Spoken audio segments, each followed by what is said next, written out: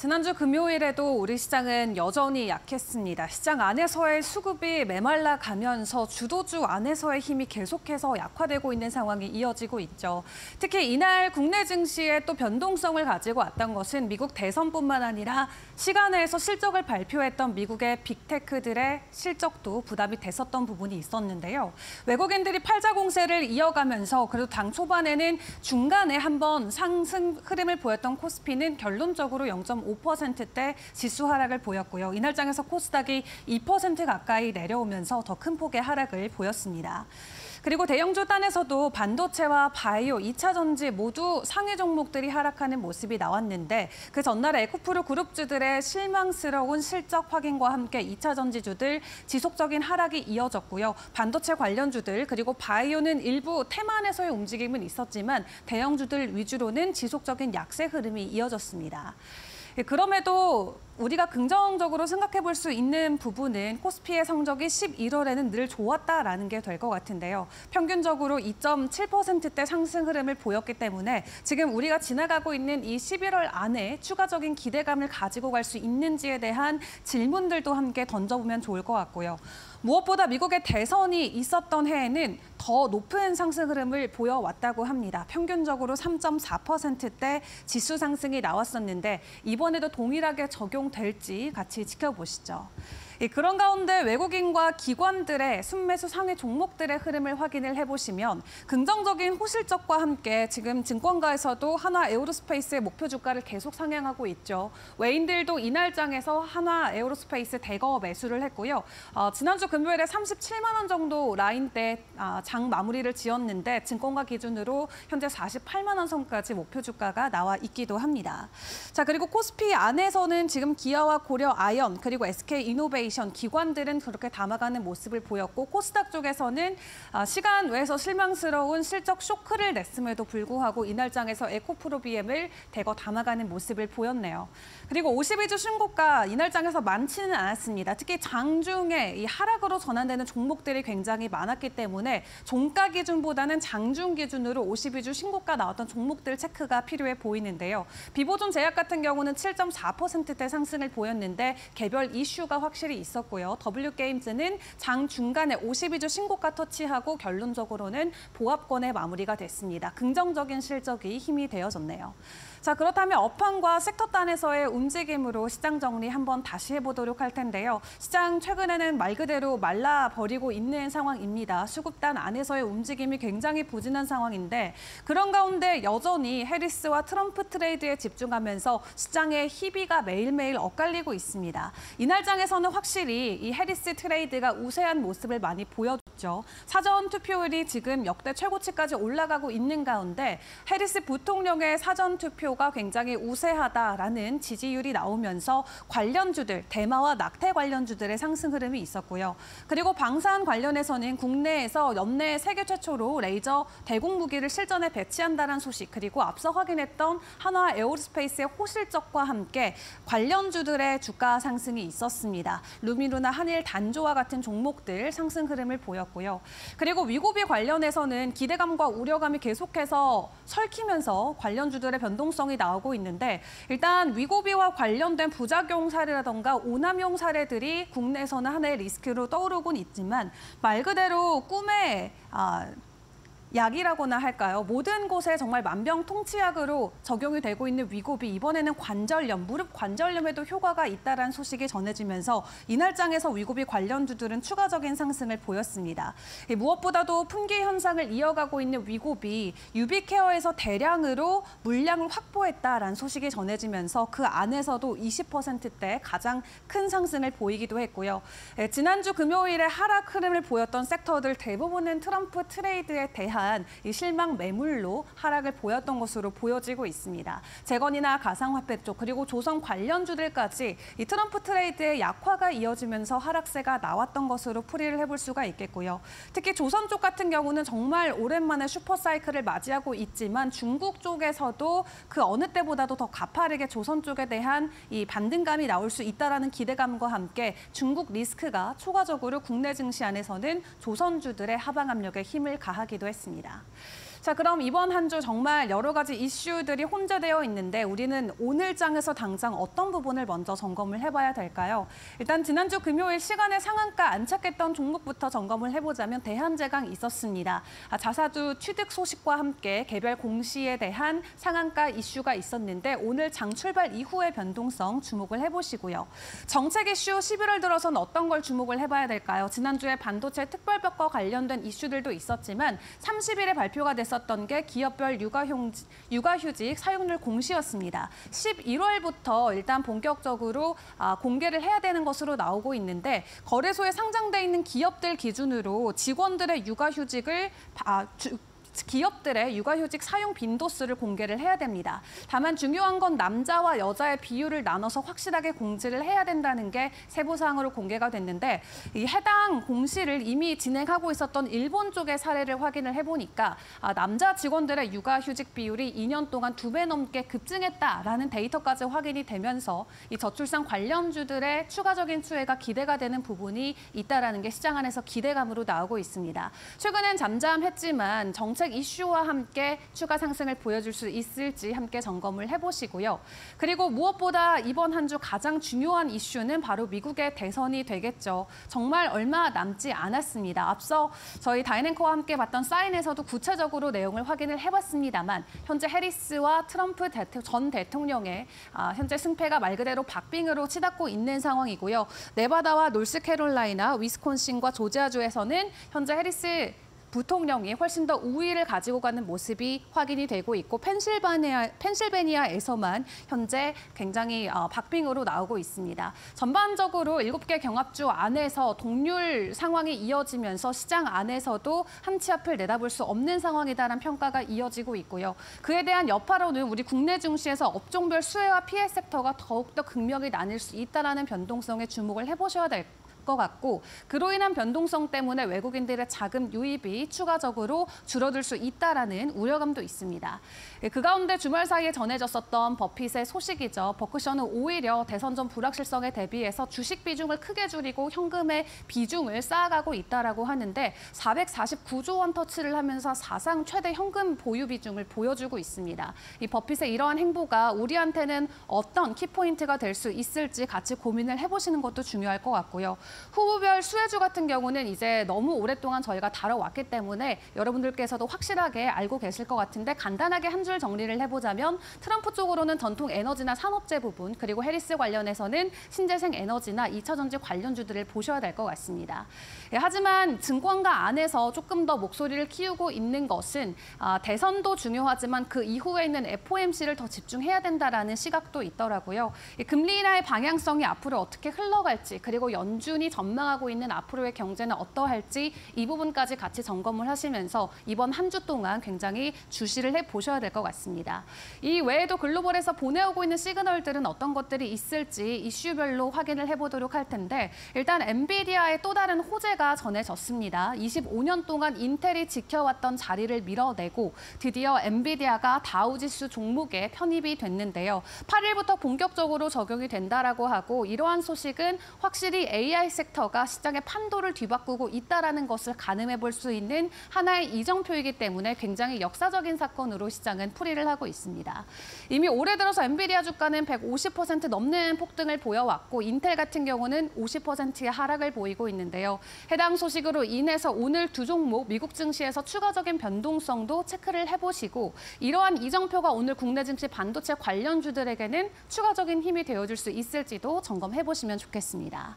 자, 그리고 국내 관련돼서 전해진 또 다른 글로벌 이슈는 중국이 사상 처음으로 한국인들을 대상으로 무비자 입국을 허용한다고 합니다. 8일부터 진행이 되고 내년 말까지 이어진다라고 하는데요. 무비자로 중국 여행이 가능한데 15일에 이 기간은 확실히 정해져 있습니다. 현재 이를 놓고 업계 안에서도 이번 비자 면제 이슈로 인해서 중국을 향하는 관광객들이 두 배 이상 증가할 수 있을 것이다라는 기대감을 가지고 있고 이미 3분기 들어서 중국의 패키지 송출객이 전년 대비해서 투어사마다 사, 어, 사, 세 자릿수 이상의 상승 흐름을 보여왔다라고 하는데요. 여기에 추가적인 힘이 되어줄 수 있을지 오늘 여행 관련주들, 항공 관련주들의 변동성도 같이 점검을 해보시죠. 이번 주 여러 가지 일정들을 소화를 해야 되기 때문에 한 판으로 정리를 해보도록 하겠습니다. 주요 일정들 점검을 해보시면 일단 오늘 코리아 밸류지수 ETF 상장이 됩니다. 지난 한 달 동안의 수익률이 사실 부진했습니다. 3% 넘는 하락을 보였는데 ETF 상장과 함께 추가적인 변동성이 나올지 지켜보시고요. 그리고 내일은 이제 미국의 대통령 선거 그리고 목요일에 FOMC 있습니다. 주요 미국의 경제 이슈들 그리고 정치적인 이슈들을 잘 소화를 해야 되기 때문에 이번 한 주의 변동성에 주목을 꼭 해보시면 좋을 것 같고 그리고 코스닥과 코스피뿐만 아니라 나스닥까지 이번 주에 상장되는 신규 기업들도 많습니다. 매일매일 해당 기업들의 일정들까지 같이 체크하시면서 주요 변수들에 대응을 해보시는 게 중요할 것 같습니다. 여러 가지 이슈들 계속 소화를 해야 되기 때문에 개장 때까지 이델리 TV와 함께 하시면서 주요 종목들, 이슈들 체크해 보시길 바라겠습니다. 그럼 뉴욕 증시로만 더 들어가서 시그널 잡아보겠습니다. 일단 지난주 금요일 첫 시작이 좋았습니다. 11월 첫 거래일에 3대 주요 지수 일제히 상승했습니다. 다우지수가 0.7%가량, 나스닥은 0.8%, S&P 500 지수도 0.4%가량 오름세를 보였습니다.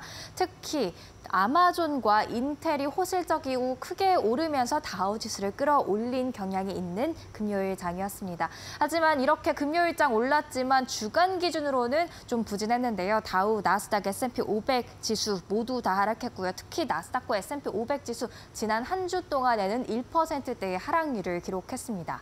국제 유가와 금값은 엇갈렸습니다. WTI는 이란이 이스라엘에 대해 보복할 수 있다라는 그런 소식이 전해진 이후 약간의 상방 압력을 받았는데요. 주말 사이에는 오펙 플러스가 12월로 예정돼 있던 증산을 한 달 더 연기한다 이 소식을 전했습니다. 과연 이 소식이 월요일장에서 추가적인 상방 압력으로 작용할 수 있을지 체크해 보시고요. 금값은 소폭 사상 최고치에서 밀려나는 모습이었습니다. 이날 또 주요 지표 두 가지가 공개가 됐는데요. 미 노동부가 공개하는 10월 고용 보고서를 보니까 10월 미 고용이 12,000건 증가한 것에 그쳤습니다. 있습니다. 예상치가 10만 건이었는데 정말 크게 하회했죠. 이유를 찾아보니까 허리케인과 보잉 때문이다라는 이유가 주된 이유였습니다. 그렇기 때문에 금리 인하에는 여전히 어, 청신호가 켜져 있다라는 시그널들 나왔습니다. 또 10월 ISM 제조업 지수가 46.5를 기록했는데요. 이 또한도 예상치를 하회하는 모습이었습니다. 미국의 제조업이 계속해서 위축세를 이어가고 있는데 미국 대선과 11월 FOMC를 통해서 불확실성을 어느 정도 제거하고 난 뒤에 과연 제조업의 반등이 이루어질지는 체크해 볼 필요가 있을 것 같습니다. 그리고 이번 주 운명의 한 주가 되겠죠. 현지 시간 기준 5일 미국 미국 대선이 치러지게 되고요. 그리고 6일부터 7일에 걸쳐서 11월 FOMC 회의가 열리게 됩니다. 이 부분도 잠시 후에 일정을 통해서 또 확인해 보겠습니다. 그렇다면 히트맵 한번 볼까요? 이날 아마존과 인텔이 특히 빛났는데요. 아마존은 6%대 상승률을 기록했고 또 인텔도 7%대의 상승률 기록을 했습니다. 인텔 외에 다른 반도체주 보시면 브로드컴과 AMD는 내렸지만 엔비디아 2% 가까이 올랐고요. 퀄컴도 1%대 상승률을 기록했습니다. 애플은 1%대 하락을 기록했는데요. 워런 버핏이 애플 지분을 더 매도했다고 하죠. 이 부분에 대해서 어떤 시그널이 나올지 계속해서 이번 주 지켜보셔야 될 것 같고요. 그리고 섹터별로 보면 유틸리티와 부동산 섹터가 대체로 하방 압력을 받았습니다. 사실 기준금리 인하 가능성이 계속해서 살아있는 만큼 금리에 민감한 유틸리티 또 부동산 호재를 입을 수 있는 부, 부분 분명히 있는데도 불구하고 이렇게 하락 시작했다. 미국 대선 불확실성을 앞두고 혹시 트럼프가 재임하게 되면 기준금리 인하 속도가 더뎌지진 않을까 이런 부분이 복합적으로 작용한 결과라고 생각해 볼 수 있을 것 같습니다. 그럼 지난 한 주 동안의 동향을 ETF 시장 동향을 통해서 한번 확인해 보시죠. 오른 ETF들 초록색으로 그리고 내린 ETF는 빨간색으로 표시가 되어 있는데요. 초록색으로 표시되어 있는 ETF들 보니까 대부분 인버스 ETF였습니다. 인버스 ETF가 되겠고요. 또 이것도 인버스 ETF가 되겠습니다. 그러니까 전체적으로 지난 한 주는 굉장히 큰 하방 압력을 다 같이 받은 한 주였다 생각을 해볼 수가 있겠는데 아무래도 대선을 앞두고 불확실성이 있다 보니까 위험자산 선호 심리가 살짝 약하지 않았나 생각해 볼 수가 있겠습니다. 반면에 이 빅스 지수 관련돼 있는 ETF 대체로 다 올랐다는 것을 확인해 볼 수가 있겠는데요. 그만큼 변동성이 높아졌다라는 이야기도 되겠죠. 빅스 지수도 한번 보실까요? 다음 차트 함께 보시죠. 지금 대선을 앞두고 변동성 커져 있는 상황입니다. 빅스 지수, 일명 공포 지수라고도 불리는 이 빅스 지수가 지난 5거래일 동안 14% 이상 올라왔는데요. 특히 10월 31일 그러니까 대선이 임박한 시점부터 크게 올라와 있습니다. 지금 트럼프 전 대통령과 해리스 부통령의 지지율 격차가 굉장히 초박빙으로 이어지고 있죠. 그만큼 대선 불확실성 커질 수밖에 없기에 빅스 지수도 함께 올라온 것으로 보여집니다. 그럼 계속해서 다른 이슈도 확인을 해보겠습니다. 미국의 선택은 어떻게 될까요? 대선 하루 앞두고 각종 여론조사 빠르게 한번 확인을 해보겠습니다. ABC와 입소스 여론조사 결과 일단 해리스 부통령이 이 여론조사에서는 우세한 것으로 확인이 되고 있습니다. 49% 그리고 트럼프가 46%로 해리스 부통령이 3%포인트 앞서고 있고요. 다음 여론조사도 함께 보시죠. 뉴욕타임즈와 시에나가 공동으로 여론조사를 펼쳤습니다. 일곱 개 경합주에 대한 그런 여론조사 결과가 되겠는데요. 일곱 개 경합주 중에서 네 곳에서 지금 해리스가 지지율에서 우위를 나타내고 있고요. 펜실베니아에서는 48% 각각으로 동률, 그리고 미시간주에서도 47%로 동률을 보이고 있고 애리조나주에서는 트럼프 전 대통령이 49%의 지지율로 앞서고 있는 것으로 확인이 되고 있습니다. 또 다른 여론조사도 계속해서 확인해 보시죠. 아이오와주의 조간신문인 디모인이 실시한 여론조사가 되겠습니다. 아이오와주를 콕 집어서 낸 이유는 트럼프 전 대통령이 2016년과 2020년 이 지역에서 압도적인 우위를 차지했었기 때문이죠. 그런데 지지율 표를 한번 보시면요. 카멀라 해리스가 47%, 도널드 트럼프가 44%로 어, 트럼프의 텃밭이라고 할 수 있었던 아이오와주에서 지금 해리스의 지지율이 올라온 것을 확인을 할 수가 있습니다. 꽤 유의미한 변화라고 생각해 볼 수가 있겠고요. 마지막 여론조사 한 가지 더 보시죠. MBC가 진행을 했습니다. MBC 뉴스가 진행한 여론조사가 되겠는데 가장 최근에 실시한 여론조사 결과를 보면요. 49%대 49%로 지지율이 동률을 보이고 있습니다. 이렇듯 계속해서 초박빙 대선이 진행이 되고 있기 때문에 11월 5일 이날 어떤 결과가 나올지 지켜보셔야 될 것 같고요. 또 이 결과에 따라서 시장 방향이 갈릴 수 있다는 점도 체크를 하시면서 하면서 시장 대응 발빠르게 하셔야 될 것 같습니다. 그렇다면 이번 주 주요 일정도 한번 보시죠. 운명의 한 주가 되겠는데 일단 11월 4일부터는 서머타임이 해제가 돼서 우리 시간으로 오전 6시에 어, 뉴욕 증시가 마감을 하게 됩니다. 그리고 5일에는 미국 대통령 선거가 진행이 되게 되겠고요. 10월 S&P 글로벌 서비스 PMI 그리고 ISM의 서비스 PMI도 동시에 공개가 됩니다. 6일부터는 FOMC 회의가 진행이 되게 되는데 이틀에 걸쳐서 진행이 됩니다. 그러니까 목요일 날 미국의 기준금리가 결정되게 되겠죠. 목요일과 금요일 일정도 체크해 보시죠.